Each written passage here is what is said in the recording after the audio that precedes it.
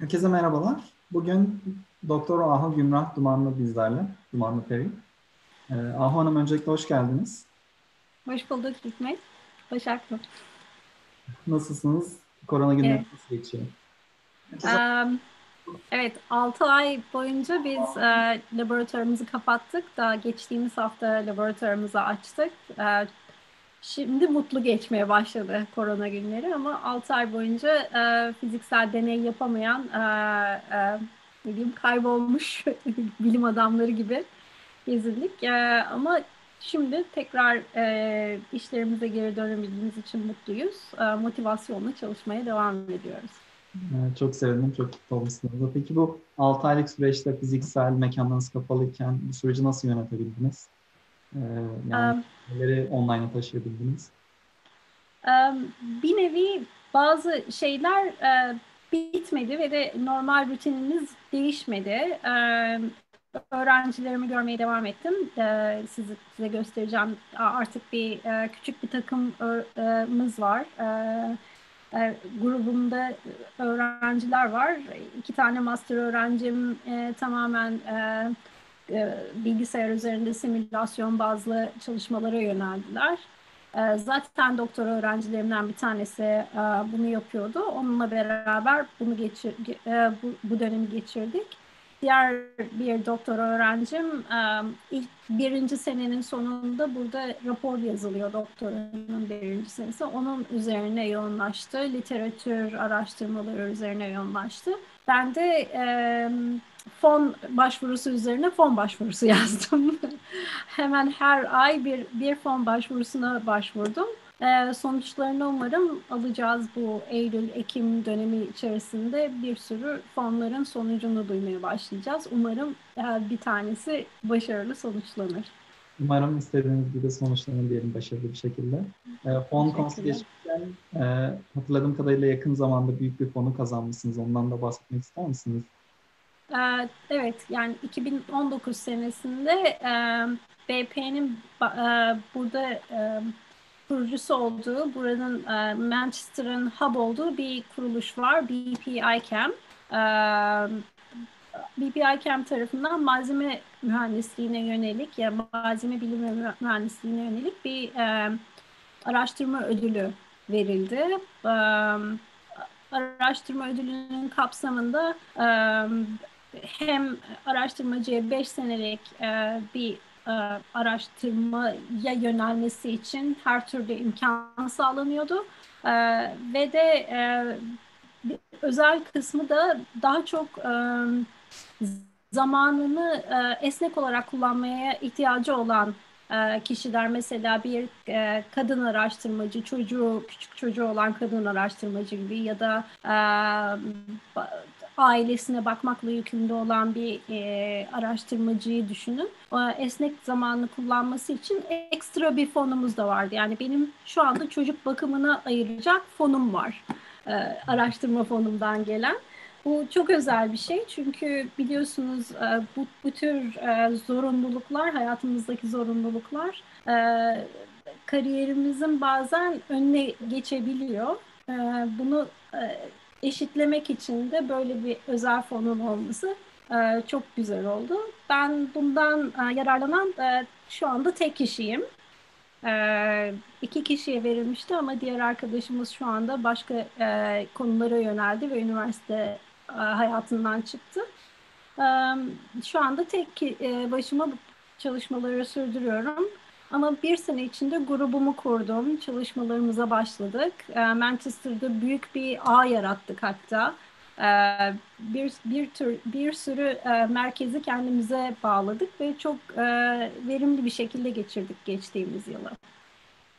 Çok sevindim açıkçası bu güzel bir sene geçirip böyle bir ödül kazanıp aynı zamanda e, dediğiniz gibi bu fırsat fırsat eşitliğini aslında bir nevi cinsiyet eşitliğini de sağlamaları oldukça güzel bir düşünce. Evet. Tekrardan tebrik ederim. Aa, Teşekkürler. Hoş. Teşekkürler. Ben biraz baştan başlamak istiyorum izninizle. Sizi kimya okumaya iten Hacettepe Üniversitesi, Hacettepe Üniversitesi'ni seçmenizi sebebi neydi acaba? Böyle hep aklınızda bir kimya var mıydı yoksa ilgili miydiniz? Evet, aklımda hep kimya vardı. Ben lisede, e, lise arkadaşlarım da çok iyi bilirler. Ben kimyayı çok sevdim. E, ve tabii ki e, aileniz bazı şeylere itiyor sizi. Yani benim ailem hep tıp okumamı istemişti aslında. O yüzden onların gönlü olsun diye en yüksek puanlı iki tane tıp e, seçimi yapmıştım üniversiteye girerken. Onun altındaki her şey kimyaydı. E, onlara giremeyeceğimi biliyordum birazcık da onunla e, alakalı olarak. Yani e, ulaşamayacağım iki yeri seçtim ki hani kimyaya geldiğim zaman e, sorun çıkmasın diye. E, ve de e, kimya lise yıllarında başladı sevgi olarak. Hatta ben çocukluk yıllarında da e, herkes bana hatırlatıyor şimdi kolonya yaparmışım. Çiçekleri toplayıp hatırlıyorum çiçekleri toplayıp e, ya suda mı çözünür e, yağda mı çözünür diye bilimsel deneyler yapardım ben ilkokul çağındayken de. Ee, öyle bir hani simyacılıktan başlayıp e, kimyaya doğru geçiş oldu bende. Ve de çok severek okudum kimya e, bilimi okurken. Ben mühendislik okumadım. Kim, e, temel bilimler kimya okudum Hacettepe Üniversitesi'nde. E, ve de e, çok severek e, okudum e, ve master yapmayı da kafama koymuştum. En çok da e, hoşuma giden kısım polimerler olmuştu. Hala da şimdi polimerlerle bağım devam ediyor. Araştırma konularımızın içerisinde hala polimerler var. Yani istikrarlı olmuş birazcık e, e, ne sevdiğim. E, ama şu anda tabii çalışma alanımız çok daha e, farklı disiplinleri içine de alan, e, farklı şeyleri de görmemizi sağlayan. E, çünkü daha sonra e, kimyadan başlayıp polimere, polimerden başlayıp malzeme mühendisliğine de geçiş yaptım. Onu da, da soracaksınızdır şimdi. Evet, onları da soracağız tabii ki ama ben çok sevindim hem isteyerek hem de severek tercih yaptığımız için.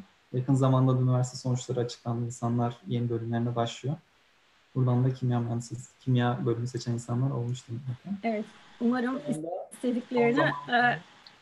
Affedersiniz, buyurun. Tabii tabii. Umarım herkes istediğini bulmuştur. Bu sene çok sorunlu bir yıldı üniversite e, sınavları e, açısından.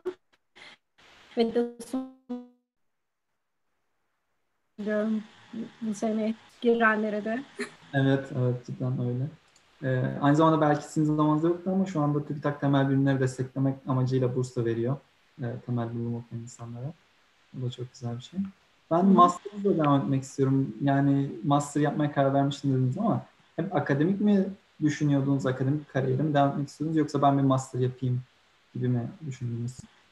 Yani işin gerçeği ben dördüncü yılımda şey bir tane okulumuzda Hacettepe Üniversitesi'nde polimer laboratuvarlarına girmeye başlamıştım. Araştırma laboratuvarlarına ama yani kendim gönüllü olarak çalışıyordum.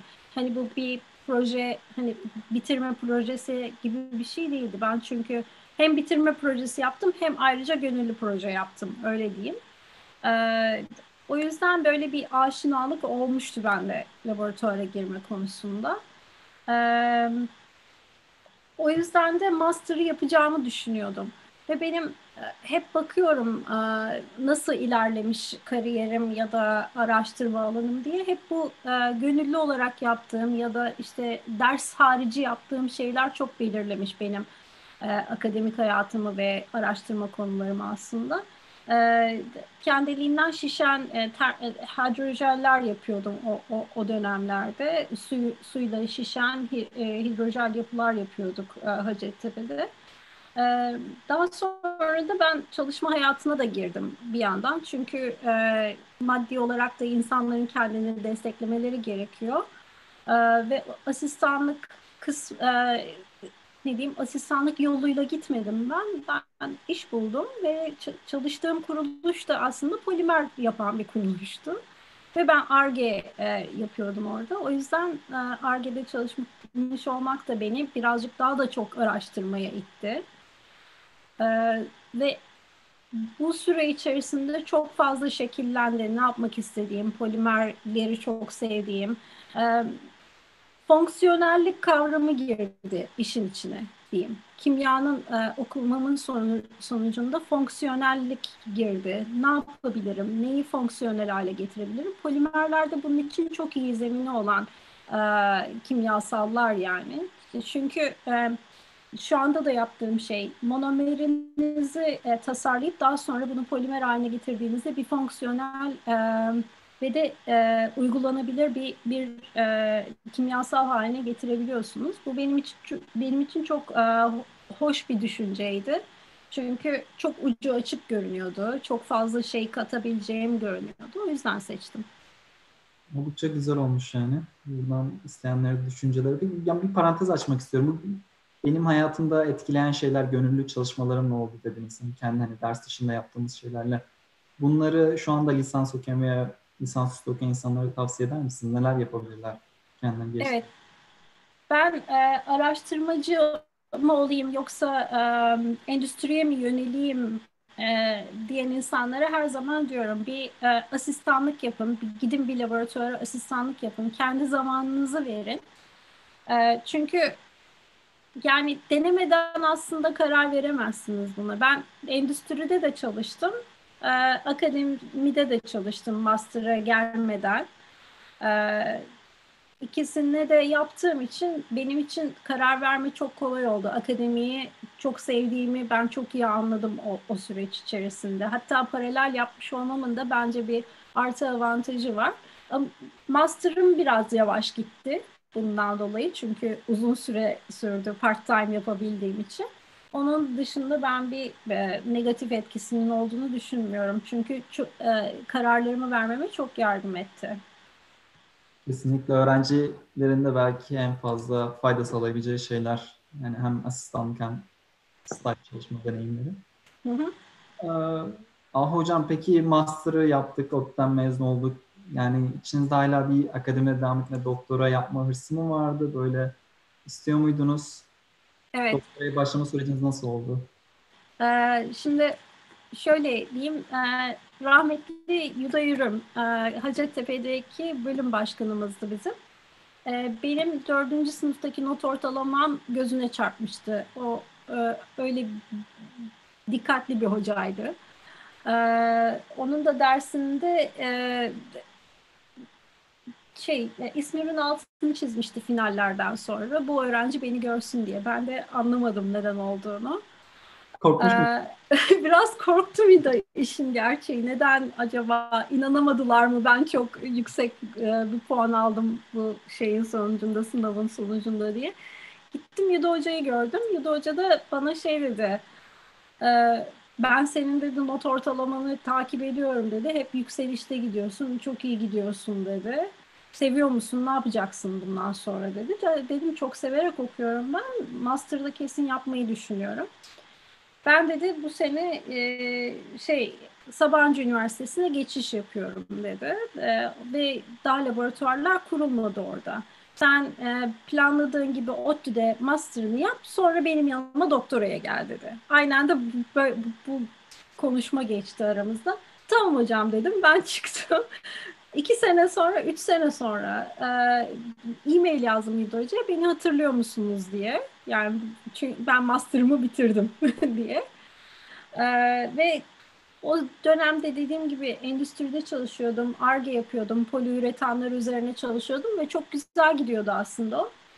Ve onun güzel gitmesi aslında beni çok heyecanlandırıyordu. Çünkü yani e, bir bir buluş yapmak üzereydik. Yani e, Dow Chemicals'ın yaptığı bir e, buluşu tekrar Türkiye'de paralel gitme e, üzerine gidiyorduk yani. E, ve ben kendi kimyasalımızı üretiriz. Türkiye'nin böyle bir sorunu var. Türkiye kendi ham maddesini üretmeyen bir ülke aslında. Ve kendi birkaç tane polimer ham maddesini hazırlayabilecek hale getirmiştik projeyi aslında. Ben de dedim ki yani do doktora da yaparsam bunun üzerine bu konuyla ilgili çok güzel sonuçlar alırız. Yani pek, pek ço çoğullaştırırız bu ham madde işini. Ama işverenlerim o dönemde buna izin vermediler. Doktora yapamazsın dediler. Ee, o dönemde de e, Yudo Hoca ile tekrar diyalogumuz başlayınca ben e, Sabancı'da gerçekten iyi sonuçlar alabileceğimi düşündüm ve araştırmayı gerçekten çok sevdiğim için doktoranın benim için doğru seçenek olduğunu düşündüm ve e, İstanbul'a böyle böylece gittim Sabancı Üniversitesi'ne. Çok güzel olmuş. Peki Sabancı yıllarınız nasıl geçti? Sabancı'daki eğitiminiz, doktora zamanlarınız. Bir de insanlar genelde doktora için yurt dışında tercih ediyorlar Avrupa'yı.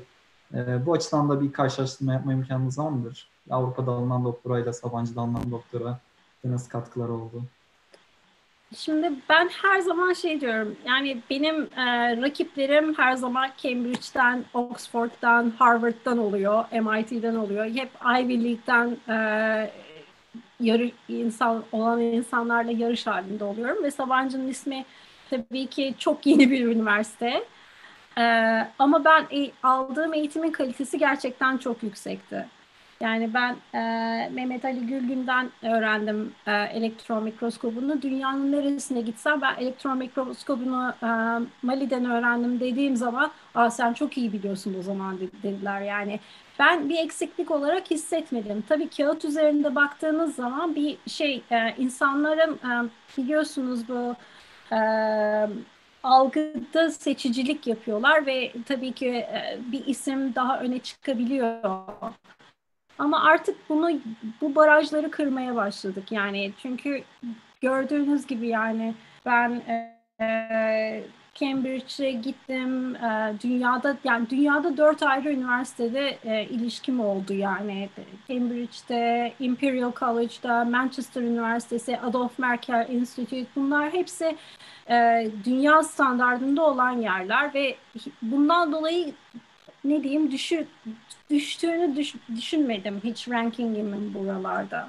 Ee, Sabancı'yı benim tercih etmemin e, nedeni de şeydi yani tamamen nasıl bir anda doktoraya başlayabilirim? Hemen başlamak istiyorum, hemen yapmak istiyorum bunu. Önümde çok güzel bir seçenek var. Tam burs seçeneği de var. Çünkü e, o da önemli maddi komponenti. Yani ailemin beni artık desteklemesine gerek yok. Zaten çalışıyordum. Bu şekilde devam edebilirim. E, tam bursu da aldım. Ona devam edeceğim. Öyle geldi. Ama bir sene daha belki düşünüp başka bir yere de gidebilirdim ama onun dediğim gibi bir negatif etkisini görmedim. Sabancı'da aldığım eğitimden çok memnunum. Orada geliştirdiğim ilişkilerden de. Çok güzel olmuş. Çok teşekkür ederim. Böyle Türkiye'de de alanında bilinen otor sayılabilecek hocaların olması da oldukça mutlu edici. Evet. Peki şey sormak istiyorum. Yani kimya okudunuz, master polimer e, bilimi ve teknolojisi üzerine oldu. Ve doktora material science and engineering oluyor. Yani aslında bunların arasında bir isim olarak bir fark var ama sizin yaptığınız iş olarak bir fark var mıydı? Veya birbirine zıplamak bir sıkıntı oldu mu? Ee, zıplamak demeyeyim bir sıkıntı da çekmedim. Yani şeyde e, ne diyeyim e, kimya ile e, polimer arasında şöyle bir ekstra şey yaşadım ben. ODTÜ'de okuduğum program benim polimer bilim ve teknolojisi. E, hala var mı bilmiyorum bu program. Sanırım devam ediyor. E, bu program kimya mühendisliğinden, malzeme mühendisliğinden dersler almanızı olanak sağlıyordu. Ben de iki buçuk senede bitirdim bunu. evet, Master'da var. Başak göndermiş. bu bu benim aslında ne diyeyim dağarcığımı çok geliştirdi. Çünkü ben malzeme konusunda çok fazla bilgi sahibi değildim. birazcık ve de hala bu sorun var. Birazcık fizik, birazcık kimya, birazcık da kimya mühendisliği gibi bir şey diyor herkes. Burada da aynı sıkıntıyı yaşıyoruz. Ben Imperial College'da çalışırken burada herkesin de e, im, aldığı imaj buydu. Halbuki malzeme kendine e, özgü bir şey. Yani mekanik özellikler, material behaviors dediğimiz şeyi buradan öğreniyoruz. Ve de malzemenin getirdiği çok büyük bir e, katkı bilimsel olarak karakterizasyon. Nasıl karakterize edersiniz? Nasıl görürsünüz? İşte bu elektron mikroskobunun gelişmesi e, ya da e, atomic force mikroskopisinin gelişmesi hep fizikten gelen background'la malzeme biliminin geliştirdiği e, alanlar aslında. E, benim ne diyeyim size polimerde yaşadığım bu e, çoklu deneyim malzemeye yönlenmeme e, neden oldu. O da malzemenin çok disiplini bir araya getirebilmesi aslında ve de özümsemesi. E, çünkü dediğim gibi bu fonksiyonellik kavramı aklıma geldiği anda, oturduğu anda ben fonksiyonel bir şeyle çalışmak istiyorum, bir kimyasalla çalışmak istiyorum. O aslında uygulamalı bilim, en uygulamalı bilim de bana malzeme gibi görünüyor. Yani bu, bu alanlara yakın yerde. Çünkü tabii ki bir sürü alanda e, uygulamalar çok ama e, kimyanın en iyi uygulandığı alan malzeme bence. Aslında belki kafalardaki soru işaretlerini biraz gidermiştir kimya ve malzeme anlamında. E, oldukça güzel oldu. Ben şeyi sormak istiyorum. E, yani doktorayı da bitirdiniz. E, İnsanlar bu dakikadan sonra genelde ya sizin yaptığınız gibi bir postdoc yapıyorlar ya tamam artık akademik kariyer bu kadar diyorlar ya da bir e, hocalık pozisyonu arıyorlar. Yani sizde bu nasıl gelişti? Yani doktora bittikten sonra bir arayış içerisinde miydiniz yoksa bir sonraki adımınız belli miydi? Ee, bir sonraki adımım aslında benim doktora sırasında belli oldu. Ee, ben tabii ki e, de şey şöyle de bir parantez açayım. Türkiye'de aslında akademi süreçleri uzun. Yani e, 4 sene e, ön, lisans öğretimi var. Daha sonra 2 sene master eğitimi. Ondan sonra da minimum 4 sene doktora. Yani Türkiye'de 4 senede doktora az rastlanılan da bir şey. Belki daha e, şu anda e, sistematik gidiyor olabilir ama e, genellikle 5 ile 7 sene arasında sürüyor Türkiye'de. Şöyle bir baktığınız zaman 4-2 e, üstüne de bir 5 koyalım. 11 sene akademide kalmış oluyorsunuz. E, 18-19 yaşında girdiyseniz e, üniversiteye 30 yaşında hiç iş tecrübeniz olmadan doktoradan çıkmış oluyorsunuz. O yüzden e, şey diyeyim, e, Türkiye'de bu yola girdiğiniz zaman bu yola devam edeceksiniz gibi oluyor. İngiltere'de çok farklı. Mesela 4 sene burada master'ı da içeriyor program. Üstüne de 3 sene doktora.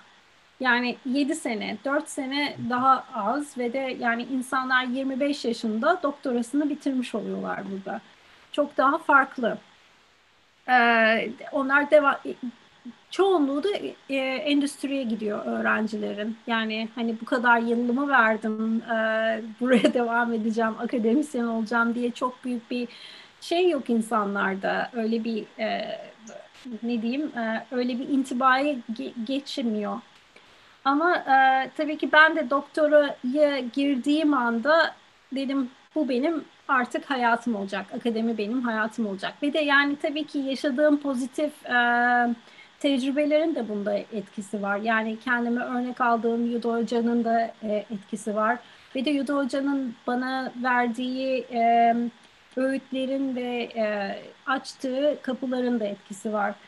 Bunlardan bir tanesi e, çok fazla konferansa götürdü beni Yudo Hoca. Daha doktoramın ilk senesinde ki e, doktorun ilk senesinde çok verimli olmaz insanlar, çok fazla sonuca sahip olmazlar. Ben Amerika'ya gidip e, sunum yaptım. E, Amerika, American Chemical Society'nin yaptığı her sene iki, iki tane e, toplantılar olur. Orada ilk sunumumu yaptım. E, ve ondan sonra da o şekilde devam etti. Galiba ben 9 tane internasyonel e, şey e, konferansa gittim. E, Türkiye'de de 10, 10 tane ayrı konferansa gittim. Böyle olunca akademik bağlantınız çok oluyor. Networking dediğimiz şey. Son gittiğim konferansta e, doktora sırasında e, İngiltere'de Brighton'daydı. Onun için de çok zorlayarak her türlü kendi imkanlarımı ve üniversitenin bana verebileceği imkanları çok zorlayarak gittim. Orada en iyi poster ödülünü kazandım konferansta. Jürilerden bir tanesi Cambridge'deki e, yanında çalıştığım, sonuçta yanında çalışacağım e, hoca oldu. E, poster ödülünü kazandıktan sonra akşam yemeğinde bana kendisi şey dedi. Sen dedi ne zaman Türkiye'ye dönüyorsun? E, işte konferans bittikten bir gün sonra. E, yok sen Türkiye'ye dönme. Cambridge'de biz bir konferans daha yapıyoruz. Ona katıl.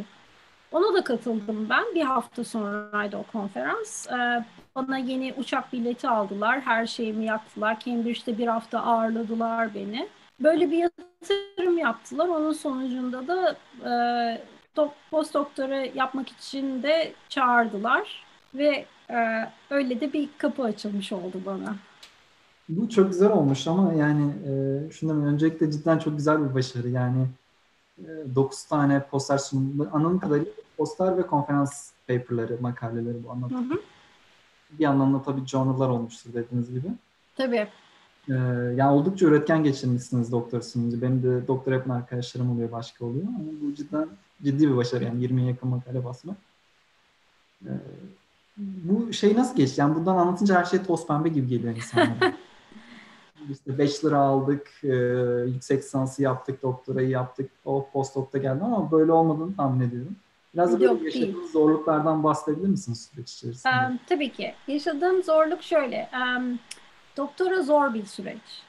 Uh, yani pozitif olduğu e, e, e, dediğim şey şöyle aile gibi yaşadık. Ben e, laboratuvarda yaşadım beş, dört buçuk sene boyunca. Yani ben orada yattım, orada kalktım. E, ofisimde koltuk vardı. Koltuk, koltuğun bir köşesinde uyudum.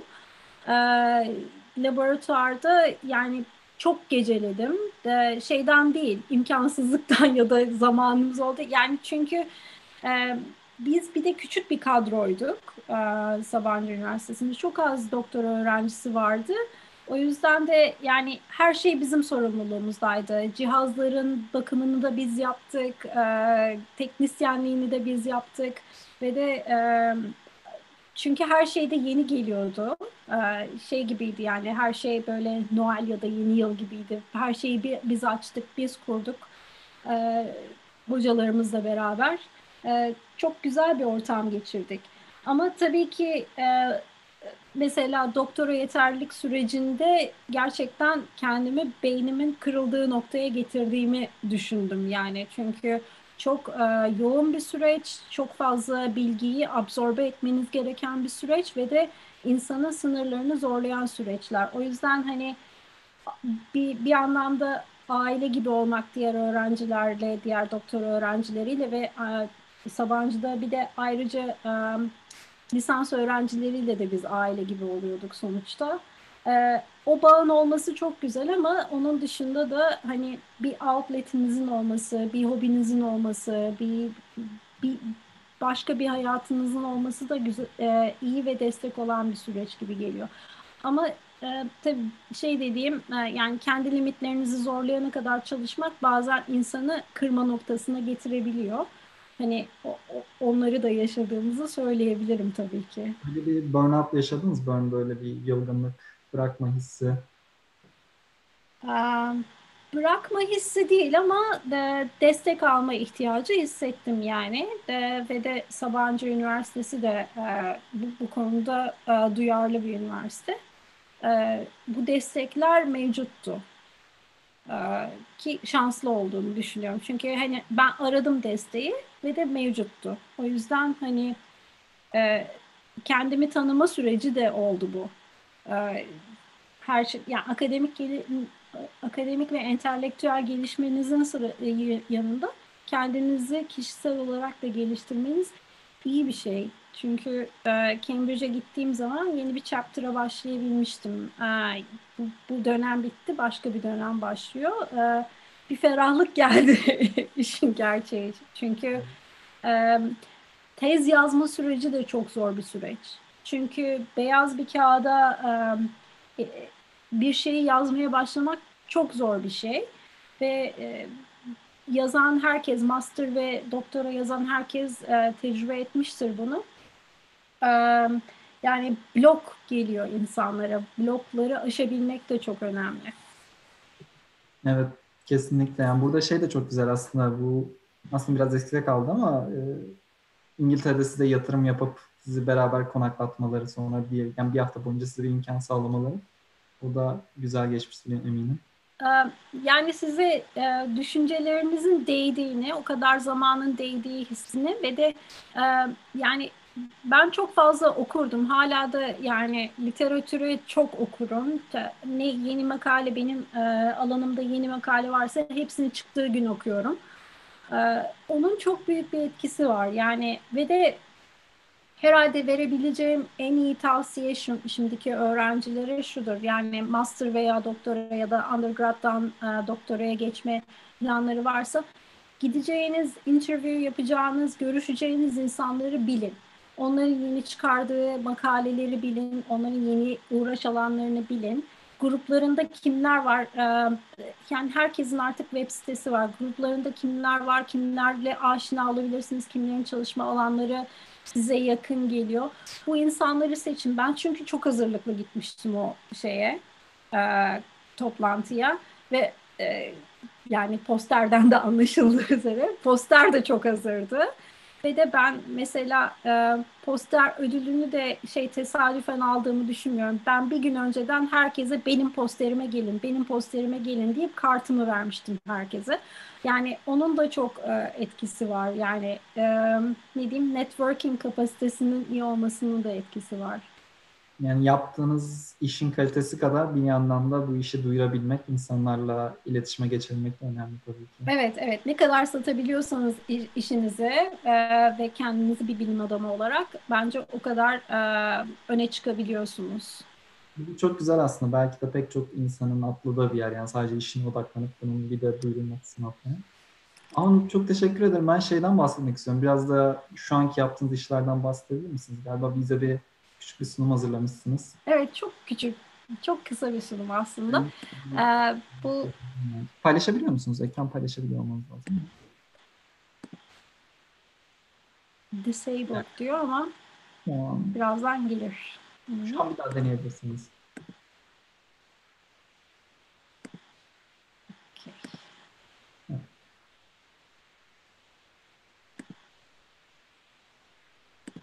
Şimdi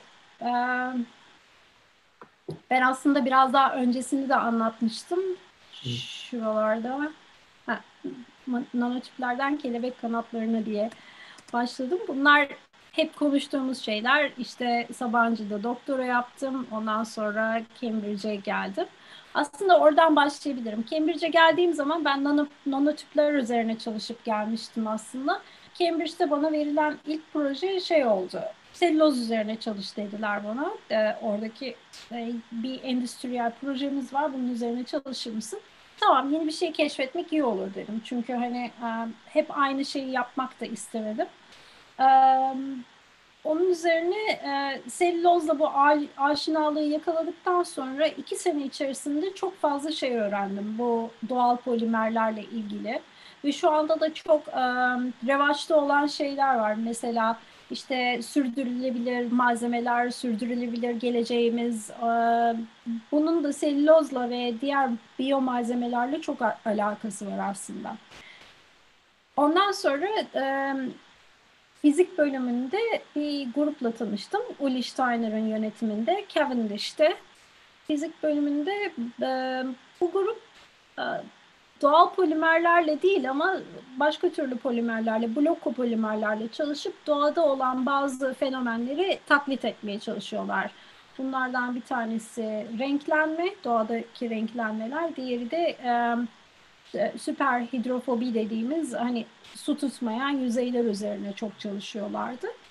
E, onlarla tanışıp projeyi birazcık çevirdim e, ve endüstriyel projeyi bırakıp kendi ilk şeyimi aldım. E, fonumu aldım. E, Schlumberger tarafından veriliyordu Faculty for Research Fellowship diye. E, yine selülozu kullanarak fonksiyonel malzeme yaratma üzerineydi. Sonra aynı Uli Steiner, aynı e, takip ederek İsviçre'ye gittim. Ee, ve gene bio-inspired fonksiyonel malzemeler üzerine çalıştık orada. Bu arada e, en, hayatımda bir şey değişti. Çocuğum oldu. Ee, o yüzden de e, İngiltere'ye geri dönme ihtiyacı hissettim ve e, o çalışma grubunu çok sevdiğim halde bırakmak istedim. Çünkü İsviçre'de İsviçre'ye bir bebek, bir eşim bir bebek ve iki tane valizle varmıştık ve e, kimseyi tanımıyoruz. Kim kimse ailemiz de yok yanımızda. O yüzden çok zor geldi o süreç bize. Yani çünkü ben e, bebeğim 4 aylıkken işe tekrar geri döndüm ve e, her şeyi yapmaya çalıştım. Benim de öyle bir şeyim var, huyum var. Her şeyi yap, yap, yapabilirim huyum var ama e, bebeğiniz olunca her şeyi bazen yapamıyorsunuz. E, sorumluluklarınız oraya doğru kaymak zorunda kalıyor. E, o yüzden geri döndük. Geri döndüğüm zaman Imperial e, Koleji'nde çalıştım. Orada ama Teaching Fellow olarak çalıştım. Araştırmadan çok eğitim ağırlıklı çalıştım. E, ve malzeme karakterizasyonu üzerine yoğunlaştım. Yani elektron mikroskopları, atomik güç mikroskopları ve e, X-ray ile yapılabilen e, difraksiyon deneylerini öğretmek üzerine yoğunlaştım ve e, spe, spe, spesiyalitem o oldu. E, iki sene burada ge geçirdiğim süre içerisinde e, geçmişte de kalan bilgilerimi bir araya koyarak bu fon için başvuruda bulundum. Ben o fonu... Hanım, teaching fellow'u biraz açabilir misiniz belki bilmeyen insanlar? Hocalık mı? Evet. Yani bu öğretim görevlisi denilebilir. Ee, yani benim ne diyeyim size ben Imperial College'de kalsaydım hayatımın sonuna kadar garantili bir fakülte pozisyonum vardı aslında. Ama e, öğretim görevlilerine daha az e, araştırma fırsatları tanınıyor. Benim master öğrencilerim oluyordu her sene ama o, doktora öğrencisi alamıyordum kendim tez yönetebilecek şekilde. Ya da bir araştırma fonu için başvuruda bulamıyor, bulunamıyordum. Çünkü bölümüm bunu desteklemeyecekti. Ee, ve de benim akademik ünvanım e, şey olmayacaktı, profesöre ulaşmayacaktı, şey olacaktı, senior teaching fellow, principal teaching fellow, o, o şekilde bir kariyer yoluydu. Yani aslında üniversite ortamında çok güzel bir e, pozisyon stili. E, çünkü belki bir sürü insan e, şey yapacaktır, e, aynı fikirde olacaktır her profesör, her akademisyen aslında şey değil, çok iyi eğitmen değil. O yüzden e, Imperial College bana aynı zamanda hani bu üniversite eğitimi konusunda bir master e, degree'si de verdi. E, yani ben o konuda da iki master'ım var şu anda. Biri polimer, biri e, üniversite ortamında eğitmenlik üzerine. E, ama ben sonuçta master öğrencilerini de yönetirken dedim ki daha fazla araştırma yapabilsem ne güzel olur. Ve de bir sürü e, doktora öğrencisi de bana geliyordu fikir almak için ve karakterizasyonlarında yardım etmem için e, ya da onu yorumlamak için ve de ben onların e, tezleri için fonksiyonel bir insan olmaya başlamıştım iki senenin sonunda. Yani dedim ki ben bu kadar çok insana e, fikir verebiliyorum. Kendi araştırma fikirlerim de var. Onları da yapmak istiyorum.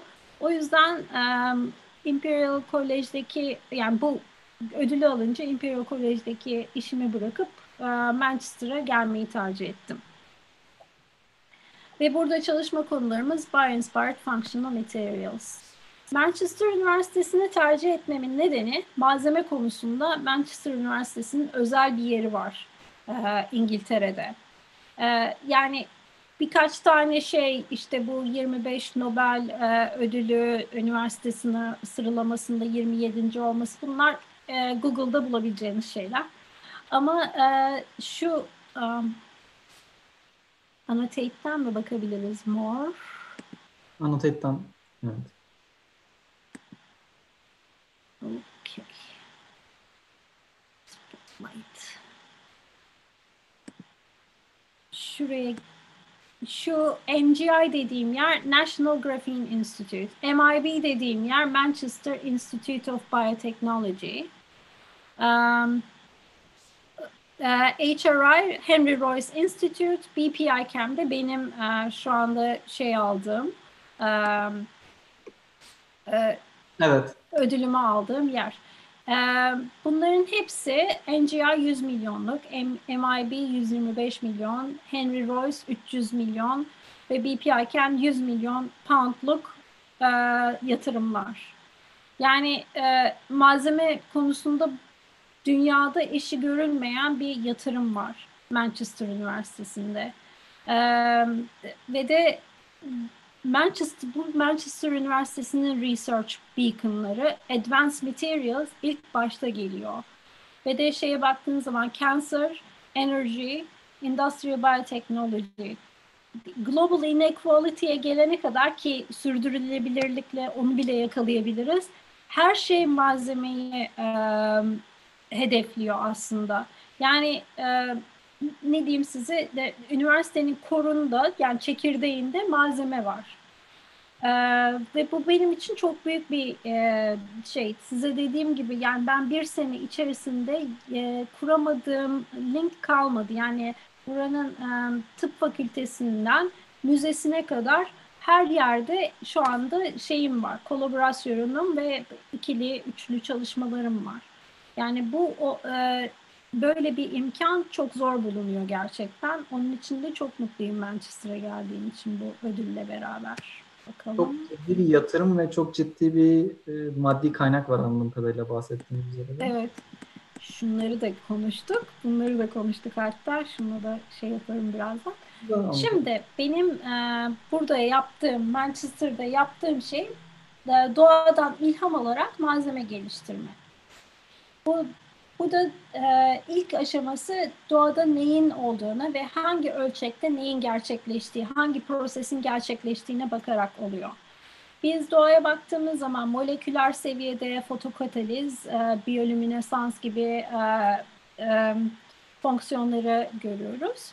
Bir yüksek seviyeye çıktığınız zaman moleküler düzeyden birkaç nanometreden birkaç yüz nanometre özelliklerine gittiğiniz zaman renklenme e, mekanizmalarını ya da su tutma, su tutmama, yapışma e, ve e, yüzey değiştirme, yüzey fonksiyonları görüyoruz. Birazcık daha yüksek düzeylere çıktığımız zaman da mekanik, mekanik özelliklerinin nasıl değiştiğini görüyoruz. E, ya da actuation dediğimiz yani e, şey gibi düşünün e, çiçeklerin nasıl e, güneşi takip ettiğine bakarsanız, e, kozalakların nasıl açılıp kapandığına bakarsanız e, bunlar hep e, doğal actuation prosesleri ve de aslında doğanın her şeyi çok güzel paketlediğini de görüyoruz. Ve bunlardan biz ilham alarak yani bunları görüyoruz doğanın nasıl yaptığını bakıyoruz ve bunları biz kendi e, ilk önce doğanın yaptığı malzemeleri ekstrakt edip yaparak ya da başka malzemeleri de üstüne ekleyerek tekrar etmeye çalışıyoruz. Doğanın çok iyi yaptığı bir şey mühendislikte gördüğümüz şey şu. Mühendisler bir şeyi bir kalıba koymaya çalışıyorlar. Böylece bir fonksiyonel yara, ya, fonksiyonellik yaratmaya çalışıyorlar. Doğa böyle yapmıyor. Benim diyor yapı taşlarım var Lego gibi. Ben bunları bir araya getirdiğim zaman bu bana bir şekil veriyor. O şekilde bana bir kompleks fonksiyon oluşturuyor. Doğada her şeyin alttan bu şekilde yani üstten kalıplanarak değil ama alttan minik minik bir araya getirerek yaptığını görüyoruz. Bottom up dediğimiz şey. Ve her şey enerjiyi çok iyi uh, kullanarak yapıyor doğa. Ee, çok yüksek sıcaklıklar kullanmıyor. Oda sıcaklıklarıyla ya da e, e, vücut sıcaklıklarını kullanarak ve her şeyi bol bulunan elementlerle yapıyor. Mesela fotokatalizi şu anda platinle taklit etmeye çalışıyoruz. Doğada çok bulunan bir şey değil ki platin. O yüzden zaten um, fotokataliz o şekilde gitmiyor. Fotosentez uh, o şekilde gitmiyor. Magnezyum ve nikel ve demir üzerinden gidiyor. Bunları düşünerek biz de prosesler oluşturuyoruz. Ayrıca yaptığımız şey multifonksiyonel olsun yani çok fonksiyonlu olsun. Ben bunun için hep kelebek örneğini veriyorum. Kelebeğe de bu şekilde değinmiş olduk. Kelebeklerin kanatlarını baktığınız zaman uçmak için çok hafif olsun diye tasarlanmış. Çok güzel uçuyor kelebekler. Hatta bu yaz şey fark ettim. Yani aerodinamikleri de o kadar güzel ki rüzgar onları metrelerce atsa bile aynı yere gelebiliyorlar saniyeler içerisinde. Ee, ayrıca e, kelebeklerin kanatları renk oluşmasını sağlamak üzere e, paternler oluşturmuş. bu renklenmede sinyal gönderme özelliği. Birbirleriyle iletişimdeler. Ayrıca kanatlar su tutmuyor. Hidrofobik. Su tutmamasının nedeni de kendi kendini temizleyebilir. Üstüne yağmur yağarsa üstünden kayıp gidiyor kelebeğin. Bir kanatta üç fonksiyonu yakalayabiliyoruz. Daha benim aklıma gelmeyen de vardır belki. Büyük bir ihtimalle eşleşmeyle de ilgisi vardır bunların. Biz de bunu yapabiliriz. Şu anda sahip olduğumuz malzemeler bir tek işlev görüyor ama daha fazla işlev görebilirler non-toksik olan, sürdürülebilen bir sürü malzeme yapabiliriz bu felsefeleri uyguladığımız zaman. Ve düşünürken hep şekilleri ve paternleri düşüneceğiz ki e, fonksiyonlar oralardan geliyor. Doğanın yapı taşları çok basit aslında. Kalsiyum karbonat, silika, e, selüloz, kitin. Bunlar şey kabuklar ya da e, şey sebzeler. Evet. E, saçlarınıza geldiği zaman keratin, bazı proteinler, e, kolajen. Bütün e, hücrelerinizin altyapısı kolajenden yapılma ve e, kalsiyum fosfat da kemikleri oluşturuyor. Bunlara sahipseniz doğadaki her şeyi yapabilirsiniz. Biz şimdi bunlara bakıyoruz. Yani bu bunların yapıları nasıl? hangi aşamada, evrimin hangi aşamasında e, doğa ne, ne şekilde yapıları tercih etmiş bunları inceliyoruz. Bunları sentetik olarak ya da doğanın kendi yapılarıyla bir araya getirebilir miyiz? Onları tasarlıyoruz benim grubumda. Ee, şu ana kadar gönder, gö, göstermiş olduğumuz birkaç uygulama tamamen doğanın yaptığı renklenmeleri takip ederek e, strain sensörler yaptık. Renk değiştirdiği zaman gerilim, gerilimli renk değiştiren ya da baskıyla renk değiştiren sistemler yarattık. E, yenilebilir kolorimetrik sensörler geliştirdik. Bunları şu anda şey için kullanmaya çalışıyoruz. E, yiyecek kabına uygulayıp e, son geç son tarihi geldiği, son kullanma tarihi geldiği zaman renk değiştirebilen e, gıda paketleri ya da e, tabletler, ilaç tabletlerinin paketleri haline getirmeye çalışıyoruz. E, ya da şekil değiştirdiği zaman renk de değiştirebilen sistemler soft robotiğe girmeye çalışıyoruz. E, bunun haricinde de e, benim bir başka öğrencilerim e, kamuflaj sistemleri üzerine ya da doku e, e, mühendisliği üzerine de e, geliştirdiğimiz bir sürü sistemler var. E, sonsuz bir yere gittiğimizi düşünüyorum. Çünkü doğada o kadar çok fikir var ki, alabileceğimiz o kadar çok ilham var ki. Yani e, yeni bir sistem bulmamız çok kolay. Burada dediğim gibi müze bize açık.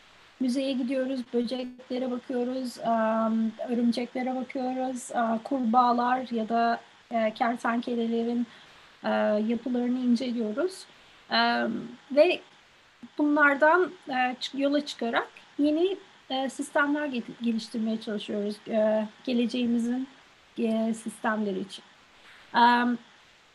Bu benim grubum. Şu andaki e, Tadeusz, Şaşın ve Sofia e, doktor öğrencilerim. E, Adrian ve Olivia e, undergrad gönüllü olarak çalışan undergrad öğrencilerim. E, Hon Ying Liang'dan ve ma, e, ben e, master öğrencilerim. E, iki, üç tane öğrencimiz geliyor e, Eylül'den itibaren. Yüçen daha e, iki gün önce vardı buraya. Ee, Emre ve Matt de e, Ekim'de katılıyorlar grubumuza. Yani gördüğünüz gibi bayağı bir büyüdü grubumuz bir anda bir sene içerisinde. Ayrıca e, ben e, dediğim gibi interdisipliner olmayı çok seviyorum. Silvia Violini Cambridge Üniversitesi'nden fizikçi, Stefano Imperial College'den modellemeci, ee, Özge Akbulut Sabancı Üniversitesi'nden malzeme üretim sistemleri uzmanı. Ee, Bill Sampson Manchester'dan modellemeci. Mike Shaver um, inorganik kimyacı. Cynthia Kasirai grafen e, konusunda uzman. Marco Dominoz doku e, mühendisliği konusunda uzman. Hepsiyle bir, dediğim gibi bir şeyimiz var. Akademik ilişkimiz var. Bu um, ICAM, e, Newton Fund ve Henry Royce da şu anda e, bizim e, projelerimizi destekliyorlar. Yani teşekkürler diyorum burayı ama daha konuşacak tabii ki e, sorularınız varsa ben şey ki, e, bitireyim. Stop share yapayım. Ee, oldukça açıkladığını düşünüyorum. Hem yapılan işin hem malzeme mühendisliğinin neler yapıldığını hem de sizin e, hangi alanlarda çalıştığınızı. Oldukça güzel ve oldukça böyle motive edici yapılan çalışma. Ben birkaç şey sormak istiyorum hocam. Yani artık e, işin PhD kısmı da bitmiş. Akademide ciddi bir yıl sarf etmişsiniz ve belli bir yere gelmişsiniz. E, yani işlerin o tarafından bakmak nasıl? Yani o tarafta bir deyim var ya grass is greener mi oralarda yoksa hala böyle çabalamaya devam mı ediyorsunuz? Bu aslında çok um, uh, güzel ve kompleks bir soru. Yani cevabını vermek komple uh, biraz zor. Şimdi uh, benim birkaç tane kendi bariyerim var. Birincisi benim olduğum pozisyona early academic career deniliyor. Yani yardımcı doçentlik gibi düşünün. Türkiye'deki. Bu pozisyondan sonrası aslında çok yarış hiçbir zaman bitmiyor. E, yarış bitmediği için de e, devamlı yeni fikirle, yeni fonla e, karşısına çıkmak zorundasınız e, sizin üst kademenize. Yani bölüm bölüm başkanınız ya da fakülte e, her zaman bilmeli ki Ahu çok, yeni bir şey getirdi. Ahu yeni bir fon buldu. Ahu yeni bir buluş yaptı. Ahu yeni bir makale yayınladı. Yani benim grubum da aynı şekilde bunu it, itmeye çalışan bir grup haline geliyor. Yani ben rahatladım diye bir durum yok. Ve de akademisyenin en e, özel yanı ben sevdiğim işi yapıyorum. Çok özel bir şey. Ama e, fikirler benden geliyor. Yani işte kendi motivasyonunuz sizi itiyor. Bütün akademik hayatınız boyunca. Yani ben doktora konumu da kendim seçtim. Yuda Hoca'nın kendi e, uzmanlık alanı vardı ama ben o uzmanlık alanına gitmek istemedim. Onun da getirdiği bazı negatiflikler oldu çünkü e, e, hocamın bilmediği bir konu, çok e, hakim olmadığı bir konuda ben tez yazmak istedim, tez yaratmak istedim. Yani e, o zamandan belliydi benim fikir yaratabileceğim ama bunun sürdürülebilirliği. Çünkü 7 senede bir de kendinizi tekrar e, keşfetmeniz gerekiyor. Her, her şeyi yani bir konuyu 20 sene, 25 sene uzatmıyorsunuz.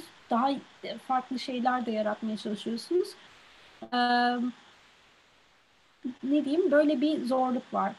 İkincisi İngiltere'de e, olmanın enteresan bir yanı var. İngiltere çok e, aslında ne diyeyim size e, göçmen göçmenlere çok açık. E, herkes İngilizce biliyor. Çok güzel bir ortam ama aslında şeye baktığınız zaman tarihsel gelişimine baktığınız zaman İngiltere aslında o kadar da e, herkesi içine alan bir yer değil. Kadın olmak zor akademik camiada. Benim aldığım ödül gibi ödüller çok az yani inanılmaz az. Ee, ne diyeyim size yılda 300 tane postdoc sadece Cambridge Üniversitesi'nde başlıyor. 300 tane postdoc sadece Manchester Üniversitesi'nde başlıyor. Yani doktora sonrası araştırmacı. Ee, yani genelde şöyle diyelim 2000-3000 tane postdoktora araştırmacı üretiyor bu, bu ülke her sene. 6 tane var benim aldığım gibi ödül sadece. Yani yarısı kadın e, deseniz 1500 kişiden sadece 6 tanesine böyle bir imkan var. Diğer 1494 kişiye yok bu. Yani o yüzden e, çok e, ne diyeyim size orman kuralları gibi burası. yani çok fazla dişli olmanız ve e, e, ne diyeyim.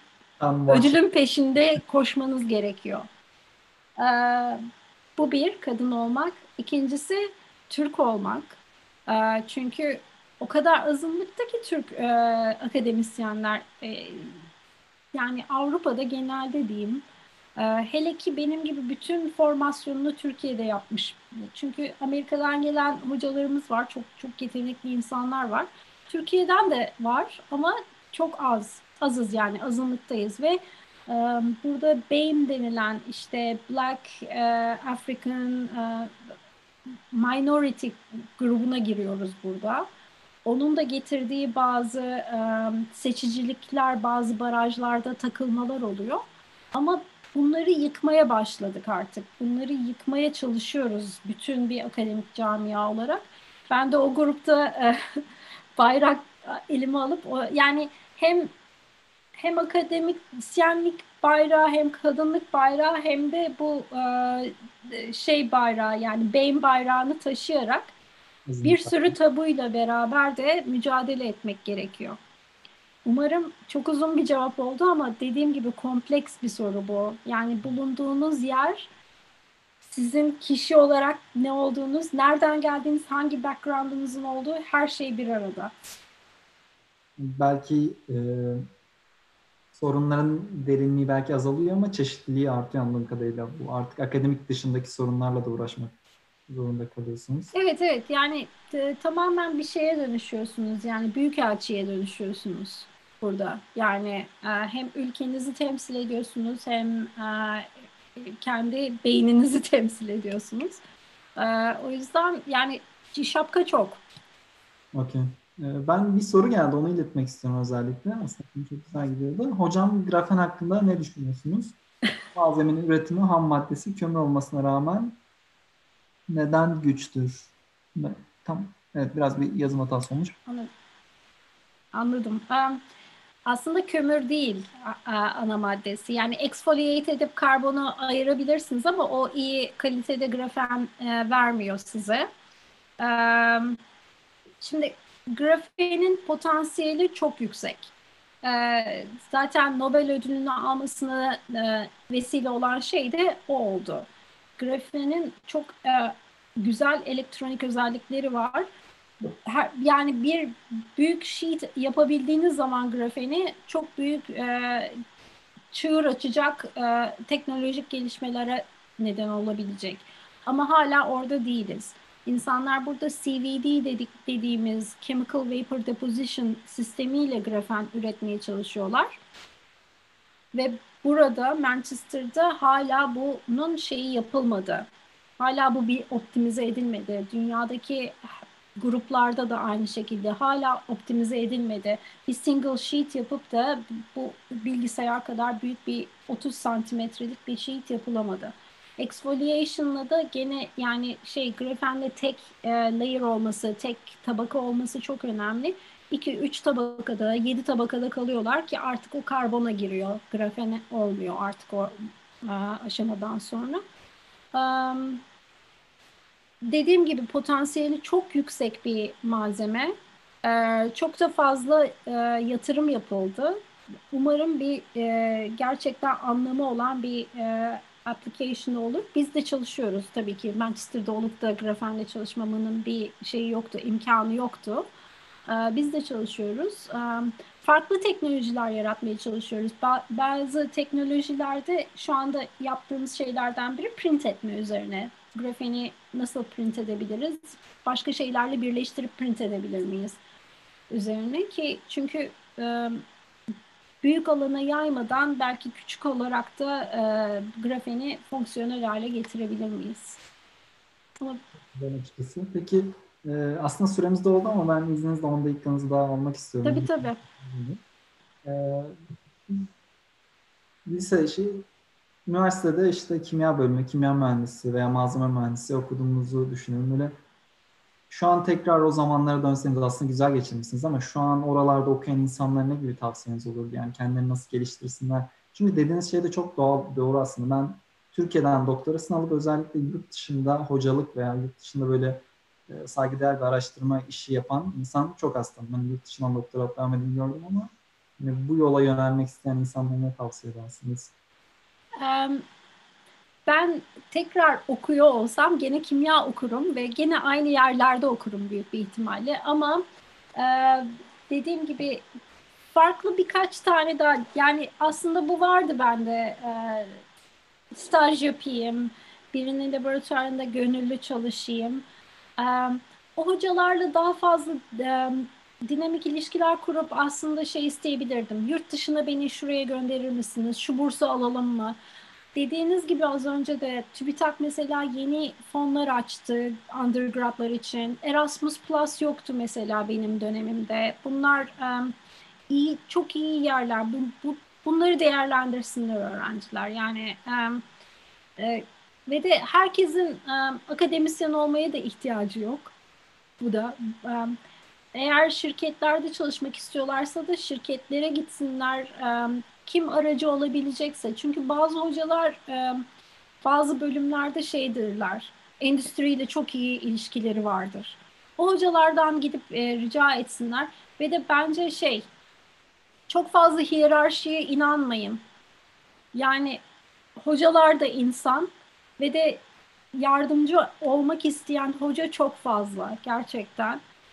Onların ilişkilerini, onların deneyimlerini ben benim mesela benim kurduğum gibi şu anda yani ben de yazdım sunumumun bir sonunda ama isteyen öğrenci olursa benimle irtibata geçebilirler yani. Ben her zaman bir aracılık yapmaya çalışıyorum. Çünkü hani ben ben de bana da yapıldığı için bu çok önemli. Aracılık çok önemli. O yüzden bu ilişkileri kurun. Hocalarınızla konuşmaktan, onlarla gerçekten sosyalleşmekten hiçbir zaman çekinmeyin. Ee, hocalar da bunu seviyorlar aslında. Hocalar da e, insanların size gelmesini seviyorlar anlamı Tabii tabii. Yani ben de öğrencilerimle sosyalleşmeyi çok seviyorum. Onlar da çünkü hani yani dediğim gibi ben hiyerarşiye inanmıyorum. Hepimiz e, bir, bir şekilde bir e, fikir tartış bir fikri tartışacağız. Bir e, sosyal olsun, bilimsel olsun bir, bir ortamda bulunacağız beraber. Çok güzel açıkladınız hocam. Peki ben bir şey daha sormak istiyorum. Yani e, mesela akademik düşünüyor olabilir insanlar ve doktora yapıyor olabilir veya master yapıyor olabilir ama master aslında e, işte yanında beş arkadaşıyla beraber yapıyor. Belki başka üniversitelerden de bir sürü insan yapıyor ama kabul alabileceği doktora pozisyonları belirli. Sizin dediğiniz gibi hani az önce verdiğiniz gibi 1500 kişi var ama 6 pozisyon geliyor. Yani orada öne çıkmak için bir tık diğerlerinden kendini daha iyi yapmak için neler yapılabilir insanların? Yani siz neler yapmıştınız? Um, dok yani doktora sonrasında ve doktora sürecinde yayın çok önemli. Yani o yayını da mutlaka um, ne diyeyim size her doktora projesi de yayın çıkaramayabiliyor. Mesela ben o, onu da gördüm. Cambridge'de de çok fazla arkadaşım benim doktora sürecinde yayın çıkaramadılar. Yani ben sanırsam 11 makale bastım. Uh, 20 tane de conference proceeding'im oldu. Bu, bu, bu yani şey diyeyim size görülmemiş bir şey. O da Yuda Hoca'nın bana verdiği bir şey e, hediyedir yani ak akademik hayatın hediye bu da sana diye. Çünkü kendisi çok yazardı ve beni de o şekilde teşvik etti yazmaya. E, eğer kendi projeniz şey olmuyorsa, e, çok fazla verimli gitmiyorsa e, side proje yapın. Başka bir e, hocayla beraber kendi hocanızı bir araya getirin, bir, bir link kurun. E, kısaca yazabileceğiniz bir şey oluşturun. Çünkü mutlaka vardır. Yani belki kendi ana projeniz iyi gitmiyordur, pro, e, şeye yayına ulaşmıyordur. Ama bir şekilde mutlaka e, bir atılımcı olun ve bunu yapın. E, ikincisi de konferansa mutlaka gidin. Konferansa gidecek şeyiniz vardır kadar datanız vardır. Konferans çünkü şey olmak zorunda değil. Posterde sizin sonuca ulaşmanız mümkün değil. Ama e, yaptığınız şeyle ilgili bir hikaye yazabilirsiniz ve de ona da dikkat edin. Her seferinde bir 6 ayda bir bir değerlendirin. Nereye gidiyor? Gerçekten iyi gidiyor mu? Ve de Gantt chartlara güvenin. Onlar iyi, iyi e, sistematik bir şekilde çalışmanızı sağlıyorlar. Güzel. De onu sormak istiyorum. Böyle sizin kendi zamanınızı, kişisel zamanınızı yönetmek için kullandığınız bir metodunuz veya bir şeyiniz var mı? Kendi gününüzü nasıl geçiriyorsunuz? Zamanınızı nasıl ayırıyorsunuz? Çünkü bir aileniz de var, öğrencileriniz de var. İşin. Evet. Aslında tam bağlanmadan önce Hikmet konuşuyorduk yani nasıl geçti bu süreç diye. Benim için en güzel şey şu oldu. Ben ben birkaç tane şey sizde siz de bana şey diyeceksiniz şimdi bize yazmadığımız zaman oldu diye. Ben e-maillerime hemen cevap vermeye çalışıyorum. Çünkü o anda cevap ver, veremiyorsam ondan sonra bir hafta, iki hafta sonra verebiliyorum ancak cevap. O da şey oluyor. Benim için de yani e, kafamın gerisinde bir e, e, beni rahatsız, rahatsız eden bir şey haline geliyor. E-maillerinize cevap e, verin anında cevap verin ve de bu çok güzel bir izlenim yaratıyor insanlara gerçekten. Çünkü ben e, iki gün e-mailimi süründüren insanlara ben de şey yapamıyorum. E, aynı faza geçemiyorum. E, birincisi o. İkincisi e, e-maillerin ya da toplantıların sonucunda ben hemen bir aksiyon planı yapıp insanlarla şey yaparım. E, paylaşırım. Bunlar bunlar bunlar yapmamız gerekiyor diye ve onları bir toplantıya ya da bir görüşmeye bir bir şeye bağlıyorum. Öyle ve onu şeyime yazıyorum. E, elektronik e, takvimime yazıyorum. O bana devamlı ping halinde geliyor. Yani mesela bir şeyin başvurusunu görüyorum. Dört ay sonra bir iki hafta öncesine e, bunun iki hafta sonra başvuru son tarihi var unutma diye. Yani her şey benim e, elektronik takvimimin içinde. Ve devamlı benim e, ekranım ping ping ping bana şey diyor. Yani iki hafta sonra şu olacak, bir hafta sonra bu var, iki gün sonra bu var. E, onu yapmak zorundasınız. Ve de beni aslında motive tutan bu 6 ay boyunca gerçekten fiziksel çalışmadık. Bu çatı katında benim ofisim. Burada geçirdim 6 ayı. Ama her gün en az 2-3 tane görüşmem vardı. Bunları ben çünkü motive ettim bu görüşmeleri. O yüzden de hiç şey yapmadı. Tempom düşmedi bu süreç içerisinde. Çok teşekkür ederiz. Yani çok güzel açıkladınız açıkçası. O zaman bir ciddi bir planlama da var yani onun kadarıyla tüm işleri beraber yapmak. Hem de evet. Yani her şey dediğim gibi e, yani yüzde doksan uyabiliyorum buna. Yüzde on tabii ki benim de düştüğüm zaman oluyor bu. E, hem şey olarak motivasyon olarak tabii ki hepimiz insanız. Her zaman olmuyor. Hepimizin geçtiği dönemler oluyor. Ve de benim şimdi oğlum 5 e, yaşında e, ona da e, zaman ayırmak gerekiyor ya da okula gidemedi bu mesela. Her şey uymuyor zamanı ama uydurmaya çalışacaksınız. Herkesin de kendi temposu var tabii ki. O da farklı bir şey. Çok teşekkür ederiz Arhan Hanım. E, katıldığınız için de çok teşekkür. Kapatmadan önce Türk gençlerine genel bir soru soruyoruz. Türk gençlerine bir tavsiyeniz var mıdır böyle genel olarak bir balkon konuşması olarak? Bunu da şöyle düşündüm. Aslında bence dedim size e, Imperial College'da benim aldığım ikinci bir master eğitimi de şey oldu. Üniversite eğitimi üzerine oldu. Ve de ben bunun kritik tartışmasını da hep kafamda yaptığım zaman öğrendiğimiz her şey e, bir sınava endeksli. Ve ben öğrendiğim, gerçekten öğrendiğim şeylerin hiçbiri sınava endeksli değil. E, o yüzden bunu bunu bir tavsiye olarak verebilirim. Yani bir, bir sınava endeksli bir testi de kendinizi ispatlamak için çalıştığınız zaman öğrendiğiniz her şey yüzeyde kalıyor ve derine inmiyor. Bir şey derini öğrendiğiniz zaman o sizin gerçekten kafanızın içine işliyor ve kritik bir şekilde e, bilgiler bir araya geliyor bir, bir süre sonuç sonunda ve sizin için gerçekten büyük bir e, altyapı oluşturuyor.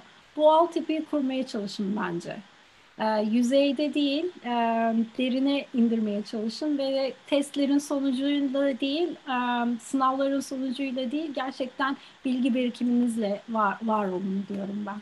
Çok teşekkür ederiz. Bir de kapatmadan önce böyle sanatsal olarak önerebileceğiniz hem kitap olur, film olur, dizi olarak e, bir iki bir şey var mıdır? Oh, kitap olarak söyleyeyim.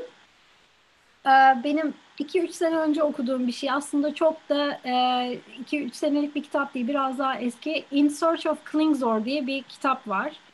Bunu çok sevdim ben çünkü İkinci Dünya Savaşı'nda e, olan e, bilimsel gelişmeleri bir dedektif hikayesi gibi anlatan bir hikaye.